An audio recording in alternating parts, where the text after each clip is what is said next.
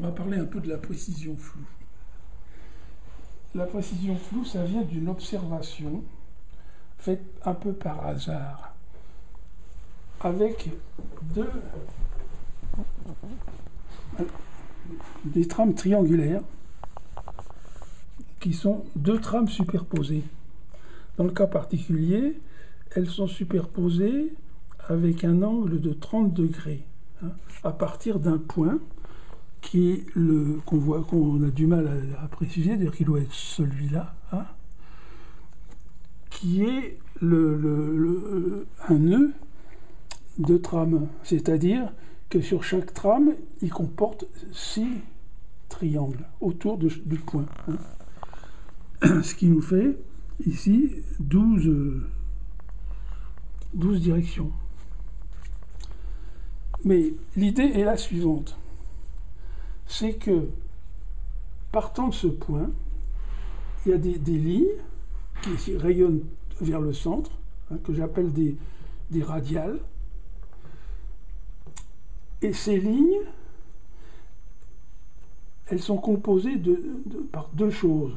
D'une part, la ligne de, la ligne de base, qui est une succession de côtés de triangles, que j'appelle 1. Et sur la trame tournée, cette, même ligne est, on le voit un peu difficilement, est, est formée par les hauteurs de ces triangles, qui viennent se cumuler au même titre que les longueurs 1 se cumulent. On a donc deux séries sur la même direction partant d'un point précis au centre, une série de 1, 1, 1, 1, 1, 1, etc., une longueur 1, et une série de hauteurs de triangle, c'est-à-dire racines de 3 sur 2, qui sont sur la même ligne. Comme ces deux longueurs ne, peuvent jamais se euh, retrouver, pas, elles ne sont pas complémentaires, c'est des, longueurs. Racine de 3, c'est une longueur irrationnelle, c'est-à-dire qu'elle a, a, une virgule et des chiffres euh, à l'infini. Donc, quand on cumule ces deux longueurs, d'une part, 1, 1, 1, 1, 1, d'autre part, racine de 3, racine de 3, racine de 3, partant d'un point précis central, on ne peut jamais retrouver deux points qui sont les mêmes sur la, sur la même radiale. C'est-à-dire que ces points, ils se courent après comme deux, deux, lapins ou un lapin et une tortue qui ne courraient pas à la même vitesse, hein, mais qui, qui, que, comme ils sautent à chaque fois, ils ne se trouvent jamais sur le même point. Voilà. Alors ça, ça m'a interprété parce que quand on voit cette, cette, double trame, on aperçoit plein de petites rondelles. Et on se dit, elles ont tout un centre. Hein mais en fait, c'est assez, assez trouble. C'est pour ça du nom de précision floue. Et ces petites rondelles, avec le raisonnement, on peut se dire qu'il n'y en a aucune qui a un centre aussi précis que le centre de départ, enfin aussi absolu, parce que c'est mathématiquement impossible. Alors ça donne à réfléchir quand même, parce que euh, ça veut dire qu'on ne peut pas avoir un autre point. Il n'y a qu'un seul point qui est vraiment exact sur, sur, cette feuille. Tous les autres, ils sont plus ou moins faux, plus ou moins euh, flous. Voilà. Hein. Alors, ce qui m'intéressait, c'était, voyant ces rondelles, on s'aperçoit qu'il y en a qui sont plus nettes que d'autres. D'autres, c'est très, très bizarre. Je me suis dit, ce qui serait intéressant, ça serait de les classer, de voir s'il y a un ordre dans, ces rondelles par, par ordre finalement de précision du centre. Alors j'ai fait un, simple calcul. Sur une radiale, j'ai cumulé les 1, 1, 1 et les racines de 3, racines de 3. Malheureusement, je n'ai pas sous les yeux, le, je crois que c'est 26. J'ai trouvé d'un côté 13 et 26, non pas 13 et 26. Enfin, à un moment donné, on, a un ordre de grandeur qui est très très proche. Ça se rapproche, puis ça se rééloigne etc. Donc j'ai noté les points sur lesquels les choses se rapprochaient et s'éloignaient. Je suis arrivé à, pouvoir construire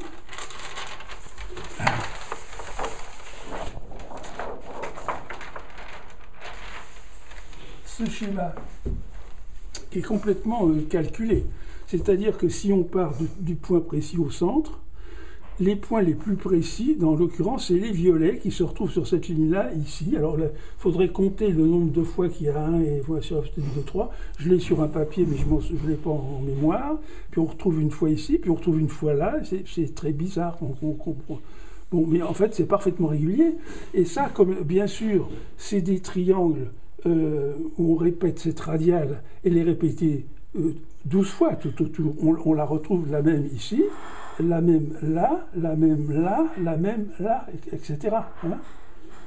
bon, mais ensuite, partant de ce calcul, on obtient les, a, en fait, on, s'aperçoit qu'on peut le faire sur deux directions, euh, avec les, 15 degrés de, différence. Hein. Et on, obtient donc en deuxième précision ces points rouges par rapport aux points violets. Hein. Bon, et de, fil en aiguille, ensuite on obtient les points bleus et on, relie tout ça. Hein, et on obtient, voilà, enfin là je ne vais, pas jusqu'au bout, mais je vais expliquer autrement. On obtient une trame, une rosace. Avant de passer à ça, Fabien, en fait la hiérarchie le plus précise sont les moins fréquents, c'est les violets. Oui. Après ça, il y a un peu plus fréquent. Euh, euh, et moins, précis, un peu moins précis. C'est des rouges. Des rouges. Et après, on passe au... bleu. Après, on passe au vert.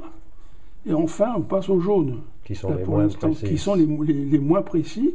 Mais on s'aperçoit qu'il y a une. au fur et à mesure, on découvre, parce qu'il parce que, parce qu'il n'y a aucune, aucune intervention euh, volontaire. C'est simplement par le, par, le, par le calcul de ces, de ces, de ces distances qu'on trouve ces, points et on découvre une ordonnance qui est extrêmement euh, intéressante.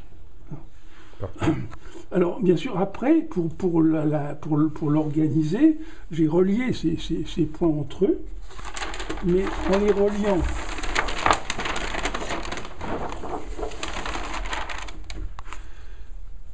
à chaque niveau. C'est-à-dire que si j'ai relié les, points violets j'ai obtenu cette, euh, cette trame. J'ai ensuite les points, je ne sais pas, les, points euh, rouges, euh, celle-ci, etc. Et on s'aperçoit qu'ici, c'est les grosseurs de points qui donnent les, hiérarchies. Mais ce que j'ai trouvé tout de suite très bizarre, il y a des choses qui me sont apparues. D'une part, cette, cette, ce réseau, il est complètement fractal, c'est-à-dire que c'est le même qui change d'échelle quand on, quand on, quand on réduit. Hein. D'autre part, plus on va vers l'infini, plus les distances, plus les, plus les poids précis deviennent précis, c'est-à-dire que les, les, les voilà, ils se rapprochent. Ils se rapprochent voilà, hein. Donc euh, c'est ça que j'appelle la précision floue, c'est trouver ce, genre d'ordonnance. Alors là, dans, l'occurrence, je l'ai fait à plat, et il se trouve que j'avais euh, deux, deux réseaux triangulaires, dans fond, par hasard, qui m'ont amené à cette étude, où quand même, je suis arrivé à un résultat, alors les calculs, bien sûr, je, vous les passe, les, voilà. Voilà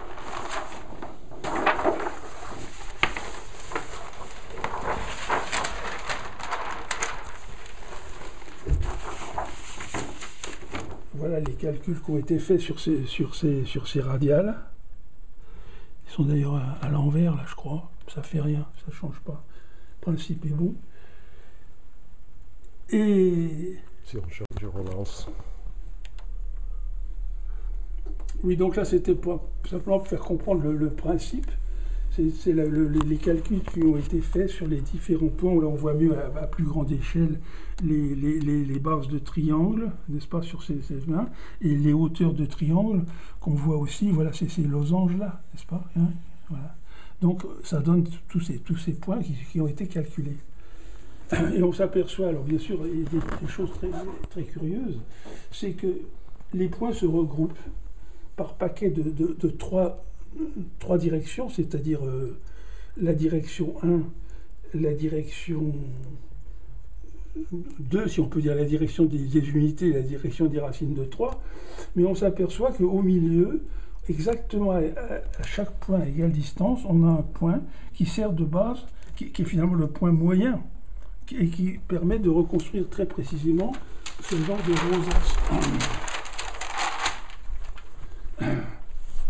Qu'on peut voir. Voilà.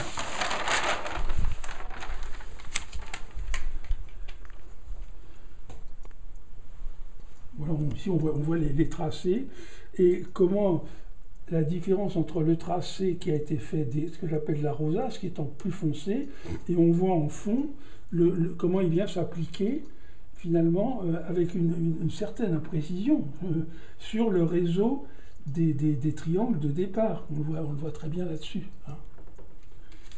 Ce qu'on peut dire pour ça, c'est que moi, ça m'a intéressé parce que j'ai trouvé que c'était une, méthode d'organisation de, de l'espace qui m'a paru intéressante. Et j'ai essayé ensuite de le généraliser, cette histoire. Voilà. C'est pour ça que je suis arrivé à la précision floue cubique, parce que je me suis dit là, on est à plat, mais si on arrivait à trouver une image euh, identique euh, en trois dimensions, ça serait quand même intéressant. Euh, je peux dire aussi que quand même, l'intérêt de cette trame, c'est qu'elle donne deux notions. Une notion de fractalité, parce qu'on a le même motif qui s'agrandit, mais aussi à l'intérieur du motif qui s'agrandit, on a une notion de pavage, parce que le, même pavé peut se répéter à l'intérieur des, échelles plus grandes. Ça, on le verra sur les, sur, sur les papiers. Hein. Je crois que c'est tout pour la précision floue, mais je vais passer à la généralisation. Alors ça, c'est une maquette qui a été faite par euh, M. Jim Osman pour le fond, d'ailleurs, qui m'a donné ces, beaux, ces deux trames triangulaires, parce que vous voulez voir quand on les bouge un petit peu, elles sont accrochées là, mais vous pouvez voir que les deux trames triangulaires sont indépendantes, hein, et que dessus, on a la rosace qui est indépendante aussi. Hein, et la manière dont elles se superposent. Donc ça, c'est l'image de la précision floue. Et là, on a deux échelles de pavage. Les pavages, dans ce cas particulier, ils sont formés de trois pièces. Un carré, un triangle équilatéral et un losange, et un losange allongé. Hein, voilà. Et on l'a ici à deux échelles, c'est-à-dire qu'on a, deux, niveaux de, fractalité, le niveau jaune et le niveau vert où on retrouve les mêmes exactement la même chose et ça se reproduit comme ça on peut ça donne quand même une bonne image à la fois de l'idée de pavage parce que vous remarquez que le, le pavage le carré qui est là c'est le même que celui qui est là et si on continue ce pavage jaune il continuera jusqu'à l'infini avec les mêmes éléments de même pour le vert mais en plus grand hein. alors ici je ne sais plus je me souviens plus aussi il y a un rapport de progression entre chaque niveau qui est dans, du côté enfin qui appartient à Racine de 3 évidemment.